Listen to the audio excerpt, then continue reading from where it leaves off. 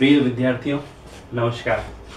BA अंतिम वर्ष समाजशास्त्र की इस कक्षा में आप लोगों का स्वागत है। विद्यार्थियों, जैसे प्रथम वर्ष और द्वितीय वर्ष में समाजशास्त्र के दो दो पेपर आप लोगों ने पढ़े हैं, ठीक इसी प्रकार से अंतिम वर्ष में भी आपके दो पेपर होंगे। पहला पेपर जो आप लोगों का होगा, वो है एलिमेंट्री सोशल रिसर्च, प्रारंभिक सामाजिक अनुसंधान। और दूसरा पेपर जो आप लोगों का होगा, वो होगा सोशल थिंकर्स या सामाजिक विचारक। अगर इन दोनों ही प्रश्न दोनों ही पेपर्स के बारे में अगर मैं आप लोगों को कोई एक राय देना चाहूँ तो मैं आप लोगों से यही कहूँगा कि आज तक आप लोग समाजशास्त्र के विषय में जो कुछ भी पढ़ते आए हैं, अब आपको थोड़ा सा पढ़ने का तरीका अपने को अलग रखना पड़ेगा। क्योंकि आज तक आप लोग समाजशास्त्र में क्या पढ़ते आए हैं?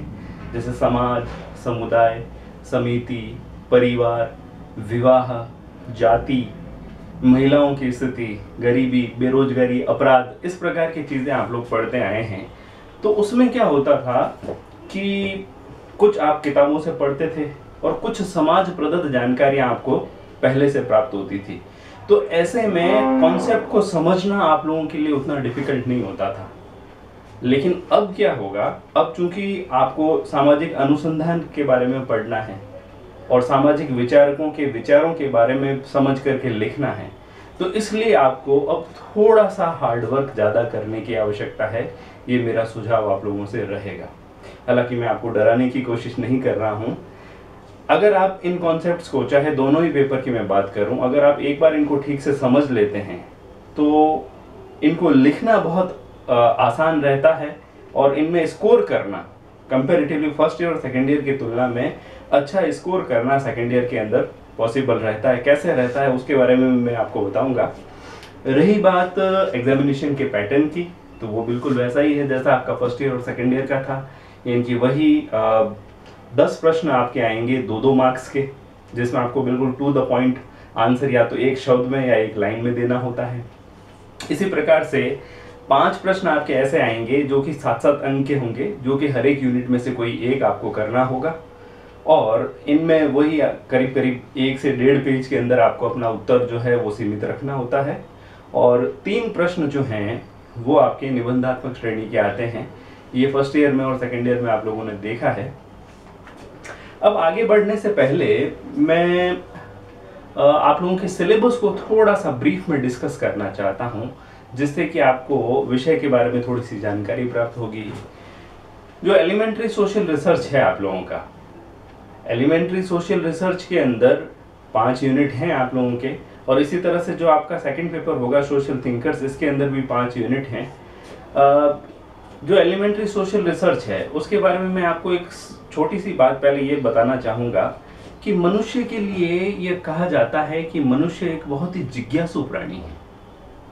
वो हमेशा उन चीज़ों को जानने के लिए प्रयास करता है जिसके बारे में उसको पहले से जानकारी नहीं है। यानी कि अज्ञात को जानने की जो एक जिज्ञासा है, वो मनुष्य में सहज रूप से पाई जाती है।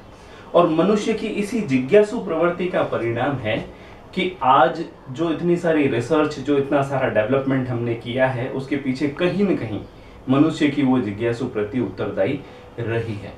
तो मनुष्य की जिज्ञासु प्रवृत्ति का ही एक परिणाम अनुसंधान के रूप में देखा जाता है। अनुसंधान शब्द की अगर अपन बात करें तो अनुसंधान को अंग्रेज़ी में कहते हैं रिसर्च रिसर्च रिसर्च में री और सर्च यानी कि खोजना बार बार खोजना। तो अनुसंधान का अर्थ कहीं ना कहीं बार बार खोजने से लिया जाता है। अब मैं यहाँ एक बात आपसे कहना चाहूँगा बार बार खोजने का क्या तात्पर्य? जैसे मान लीजिए अगर मेरा पेन कहीं खो गया है और मैं उसको बार बार हर जगह खोजता जा रहा हूँ तो क्या इसे अनुसंधान कहेंगे? शायद नहीं। क्योंकि अनुसंधान का तात्पर्य है एक व्यवस्थित और क्रमबद्ध खोज। एक निश्चित पद्धति के द्वारा की जाने वाली व्यवस्थित खोज को ही हम अनुसंधान कहते हैं। जब हम वैज्ञानिक पद्धति को काम में लेकर के अगर किसी विषय का अध्ययन करते हैं या किसी विषय के बारे में खोज करते हैं तो वो व्यवस्थित खोज ही अनुसंधान का निर्माण करती है।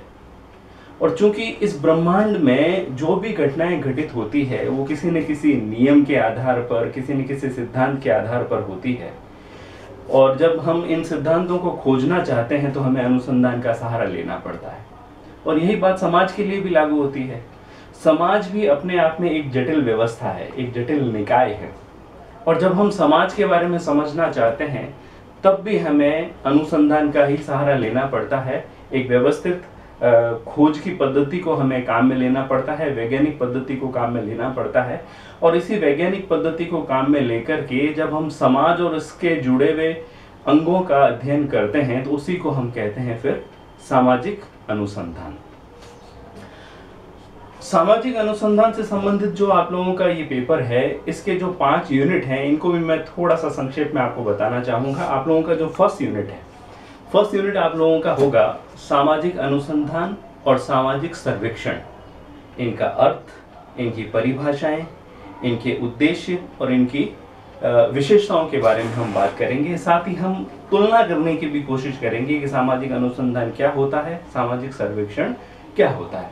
क्योंकि एक जो जनरल परसेप्शन होता है, जो आम व्यक्ति हैं, वो कई बार सामाजिक अनुसंधान और सर्वेक्षण को एक ही मान लेते हैं, जबकि ये बिल्कुल एक नहीं है। सामाजिक सर्वेक्षण तो सामाजिक अनुसंधान में काम में आने वाली एक छोटी सी प्रक्रिया है एक छोटा सा टूल है जबकि सामाजिक अनुसंधान अपने आप में कितना ही एक विशद और एक विस्तृत प्रकार की अवधारणा है। डिटेल से बात करेंगे जब हम इस, इसके ऊपर आएँगे। इसके अलावा वैयक्तिक अध्ययन पद्धति ये भी फ़र्स्ट यूनिट के अंदर ही हम लोग पढ़ने वाले हैं और साथ ही फ़र्स्ट यूनिट में जो सबसे महत्वपूर्ण बात निकल करके आएगी वो होगा सामाजिक अनुसंधान के चरण। सामाजिक अनुसंधान के जो चरण हैं, ये हमेशा किसी न किसी रूप में परीक्षाओं में पूछा जाता है। और दूसरा, ये जो सामाजिक अनुसंधान के चरण हैं, वो वास्तव में ये आपको एक प्रकार की झलक प्रदान करते हैं कि पूरे पाँचों यूनिट में आप क्या पढ़ने जा रहे हैं। इसलिए सामाजिक अनुसंधान का जो चरण है, उनको आप बहुत ही ध्यान से पढ़ें, ये मैं आपको सुझाव देता हूँ। फिर हम आएँगे सेकेंड यूनिट के ऊपर। सेकेंड यूनिट में हम बात करेंगे वैज्ञानिक पद्धति की। वैज्ञानिक पद्धति। वैज्ञानिक पद्धति और सामाजिक अनुसंधान में इसकी प्रयोज्यता। इनके इसको कैसे अप्लाई करते हैं इसकी जो एप्लीकेबिलिटी है सामाजिक अनुसंधान में उसके ऊपर हम बात करेंगे। जैसा कि अभी मैंने आ, सामाजिक अनुसंधान का जो एक इंट्रोडक्शन आप लोगों को दिया था तो उसमें आप लोगों को ये पता चला होगा कि वैज्ञानिक पद्धति का एक बहुत ही महत्वपूर्ण स्थान है सामाजिक अनुसंधान में। तो वैज्ञानिक पद्धति की बात होगी इस यूनिट में। इसके अलावा इस यूनिट के अंदर हम बात करेंगे उपकल्पना की, अवधारणा की और अंतर्वैश्विक उपागम इंटरडिसिप्लिनरी अप्रोच इसकी भी बात हम इस दूसरे यूनिट के अंदर करेंगे। फिर आएगा हमारा तीसरा यूनिट तीसरा यूनिट जो है, वो तथ्य संकलन की प्रविधियों से टूल्स ऑफ़ डेटा कलेक्शन से संबंधित है। अब देखिए, जब हम सामाजिक अनुसंधान करना चाहते हैं तो हमें व्यवस्थित रूप से कई प्रकार की जानकारियाँ चाहिए। और वास्तव में वो जानकारियाँ ही हमारे अनुसंधान के निष्कर्षों का निर्धारण करती है। तो इसलिए यथार्थ जानकारी प्राप्त हो, ये एक बहुत ही बड़ी पूर्व आवश्यकता है किसी भी प्रकार के रिसर्च की। तो इसलिए तथ्य संकलन की जो प्रविधियाँ हैं, वो सही होना भी बहुत आवश्यक है। तथ्य संकलन की वैसे तो कई पद्धतियाँ हैं, लेकिन आप लोगों के सिलेबस में एक तो अवलोकन